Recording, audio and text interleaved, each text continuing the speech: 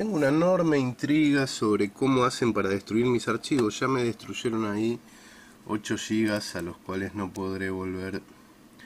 No tengo cómo repararlos. Cómo entran en, mi computadora y me hacen mierda datos. Es una preocupación activa. Igual en este caso eran datos que tenían que ver con programas que habían ocurrido la semana pasada en National Rock y que demostraban un armado combinado entre un montón de partes.